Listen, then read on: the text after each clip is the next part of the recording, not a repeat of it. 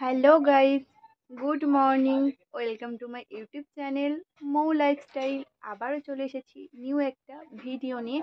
তো আজ একটা জিনিস আমি তৈরি করব। সকাল থেকে বোন বলছে যে, ওর খুব নাকি পাস্তা খেতে ইচ্ছা করছে।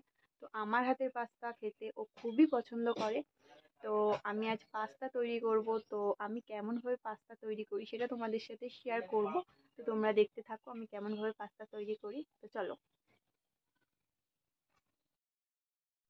পাস্তা করার জন্য আমি রান্নাঘরে চলে গেলাম। আর দেখো, আমি অলরেডি জল বসিয়ে দিয়েছি। আর জলের মধ্যে আমি একটু নুন আর কিছুটা তেল দিয়েছিলাম, সাদা তেল। তো তেলটা দিয়েছিলাম এই কারণে, কারণ পাস্তাটা যখন ফোটে না, অনেকটা গাঢ়ত্ব টাইপের হয়ে যায়, তো আঠালো টাইপের হয়ে যায়। যখন আমরা নামিয়ে নিই, গায়ে গায়ে লেগে যায়, একটু আঠালো টাইপের হয়ে যায়, তো তেলটা দিলাম, তো তার জন্য ছেড়ে যাবে। তো তারপরে দেখো, ফুটে উঠেছে। তো আমি দেখাচ্ছি, দেখো। পুরো একদম সেদ্ধ হয়ে গেছে। তারপর দেখো নামিয়ে জল দিয়ে ধুয়ে নিয়েছি যাতে আঠাটা গায়ে না লেগে যায়। পুরো একদম ছাড়া ছাড়া টাইপের হয়। তো তারপরে কিছুক্ষণ আমি রেখে দেব। পুরো একেবারে সেদ্ধ হয়ে গেছে। তো পাস্তা করার জন্য আমি নিয়েছিলাম একটা বড় সাইজের পেঁয়াজ, একটা বড় সাইজের টমেটো আর কাঁচা মরিচ নিয়েছিলাম। তার সাথে একটু আদা বাটা নিয়েছিলাম। আর নিয়েছিলাম দুটো পাস্তা মশলা। তো তারপর দেখো তেলটা গরম হয়ে যাওয়ার পর আমি একে একে পেঁয়াজগুলো দিয়ে দিয়েছিলাম, তারপর কাঁচা মরিচ দিয়ে দিয়েছিলাম, তারপর টমেটো দিয়ে দিয়েছিলাম। তো আমি সবগুলো একটু কিউব কিউব করে কাটার চেষ্টা করি যাতে আর কি দেখতে সুন্দর লাগে জিনিসটা। তো তার মধ্যে আমি আদা বাটাটাও দিয়ে দিয়েছিলাম। তো আদা বাটাটা দিয়ে দেওয়ার পর কিছুক্ষণ একটু নাড়ানাড়ি করার পর এর মধ্যে আমি নুন অ্যাড করেছিলাম, তারপরে হলুদ অ্যাড করেছিলাম তার কিছুক্ষণ পর আমি লঙ্কার গুঁড়ো অ্যাড করি, গুঁড়ো লঙ্কা আমি কিছুটা দিয়েছি, বেশি পরিমাণেই দিয়েছি, কারণ আমি কাঁচা মরিচ যখন দিই, তখন খুব একটা বেশি আমি কাঁচা মরিচ দিইনি, তো তার কারণে একটু বেশি করেই দিয়েছিলাম।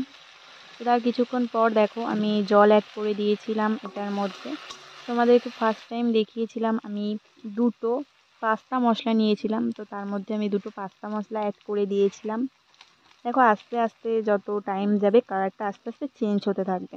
তো এটার মধ্যে কিছুক্ষণ পর আমি পাস্তাগুলো অ্যাড করে দেবো। তো দেখো তোমরা, আমার পাস্তাগুলো একদম ছাড়া ছাড়া হয়েছে, একে অপরের গায়ে একদম লেগে যায়নি। এরকম ছাড়া ছাড়া যদি না হয় পাস্তা, তাহলে কিন্তু খেতে একদমই ভালো লাগে না। একে অপরের গায়ে জড়িয়ে গেলে নাড়ানাড়ি করতেও অসুবিধা হয়। ঠিকঠাকভাবে তৈরিও হয় না জিনিসটা। তো এরকম ছাড়াছাড়ি হলে একদম খাওয়া যায়, জিনিসটা ঝরঝর হয়, দেখতেও খুবই সুন্দর হয়। তো তারপর দেখো, পুরো একদম আস্তে আস্তে কালার চেঞ্জ হতে থাকবে, দেখো। কিছুক্ষণ পর এরকম টাইপের কালার চলে আসবে। আর আমি গ্যাসটা একদম লোতে দিয়েই করছিলাম, কারণ বেশিটা জোরে দিলে একদম সব পুড়ে পুড়ে টাইপের যেত, তোমরা লোতে দিয়েই করবে। দেখো, আস্তে আস্তে এরকম টাইপের তৈরি হয়ে যাবে। দেখো, আমার পাস্তা অলরেডি রেডি হয়ে গেছে। পাস্তা খেতে কেই না ভালোবাসে বলো? সবাই পাস্তা খেতে ভালোবাসে। ছোটরাও যেরকম ভালোবাসে, বড়রাও সেরকম ভালোবাসে। তো আমি তো ভীষণই ভালোবাসি, তার সাথে আমার বোনও ভীষণ ভালোবাসে খেতে। তো দেখো, তোমরা বাচ্চাদেরকে এইভাবে তৈরি করে দাও। আর আমি ঝালটা একটু বেশি দিয়েছি, কারণ আমি ঝালটা একটু বেশিই খাই। তো বাচ্চাদের জন্য করলে একটু ঝালটা কমিয়ে করো। তো দেখো, আমার পাস্তা দেখতে ঠিক এই রকম হয়েছে। এটা বাচ্চাদের টিফিনেও তোমরা দিতে পারো, নিজেরাও খেতে পারো। তো পাস্তা সাধারণত আমি এরকমভাবেই করি, এরকমভাবে খেতেই আমার ভীষণ ভালোবাসি আমি। অনেকে অনেক রকমভাবে করে, তো আমি সাধারণত এরকমভাবেই খেতে পছন্দ করি, তো সেরকম আমি এরকমভাবেই তৈরি করি। তো পাস্তাটা দেখতে আমার খুব ভালো লেগেছে, তো তার জন্য একটা পিক তুলেছি। দেখো, এই পিকটা আমার ভীষণ পছন্দ হয়েছে।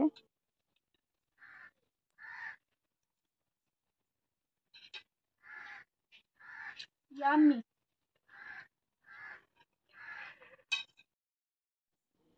বোনেরও খুব ভালো লেগেছে, ও বলছে, খুবই ভালো হয়েছে খেতে।